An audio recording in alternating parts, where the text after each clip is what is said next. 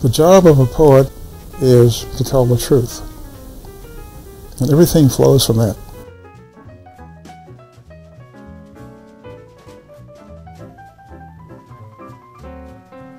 I don't know anything else that he's responsible for doing to tell the truth.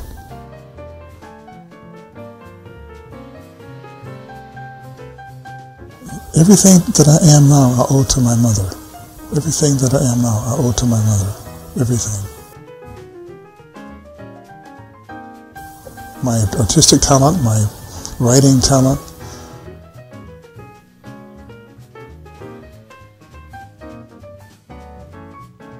I'm well read and I have a lot of allusions in my poetry.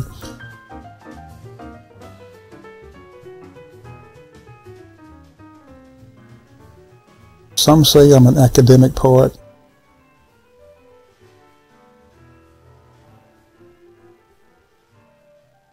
But I came to poetry late. I never read much poetry until uh, my last year of high school. So I got a late start in knowing what poetry was and what it means and what it can do for people.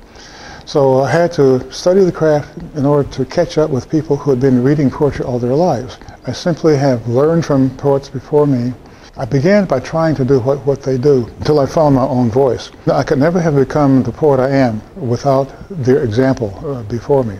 Me, the tradition is formal poetry, knowing the craft. Another kind of rain came about as a result of my submitting a manuscript to the Pitt Poetry Series, 68 or 69. I was in Pittsburgh then, and um, I submitted it to the Pitt Poetry Series. It didn't win, but Paul Zimmer chose my manuscript anyway and wanted to publish it. I was still at the University of Pittsburgh in the master's program. Uh, I was a TA there. I went to NCC in 1969. From there I went to State in 1970. So I'd been teaching since I was in, in grad school. And when I got to State, I was the first black teacher there. I started teaching a black literature course. Then after other uh, black professors came in, I began teaching creative writing, which I'd always wanted to do. I decided I wanted to get a PhD. So I went to Chapel Hill and started taking courses. And when it came to the point where I realized I wasn't writing anymore, at that moment, I dropped the program and went back and finished my second book. It was published almost immediately, so I knew I'd made the right decision. I love being in the classroom more than anything else. I lost my voice almost completely, and uh, I didn't even sound like myself. So I got to the point where I was having to croak to get words out. I had to stop. I just love sharing what I've learned with other people. I love seeing their enthusiasm. My whole theory about poetry is learning how to do everything you you can do so that when you need it, it it's there. It's like uh, trying to build a, a, house with only a hammer and a saw. You can't do it. You have to have the tools to build a complete house. You need the, all the tools in the toolkit of poetry to build a complete poem.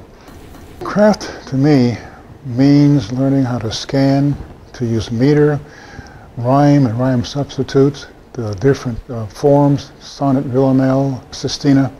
I write from what I know. That's the only thing I can do.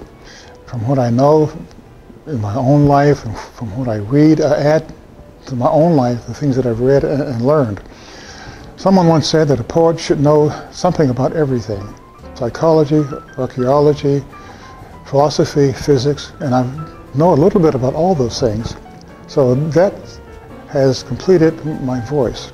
So it's made up of, I guess, confessions, speculations, stealing from other people. I guess it does come out to be a, kind of recognizable voice of Gerald Barrax.